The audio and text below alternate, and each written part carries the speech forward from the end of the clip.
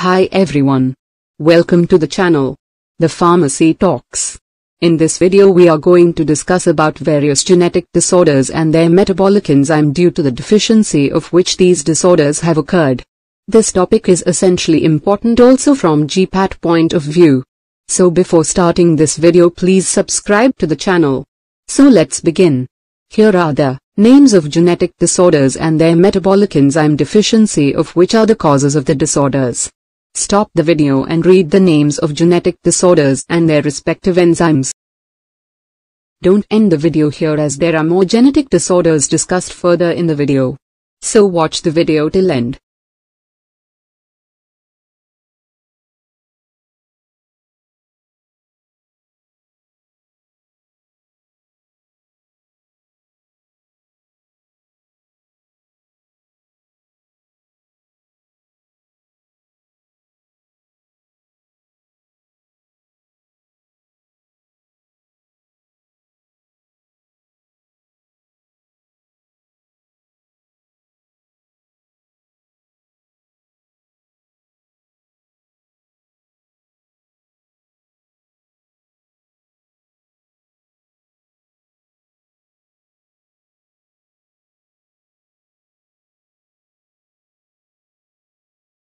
So this is all for this topic.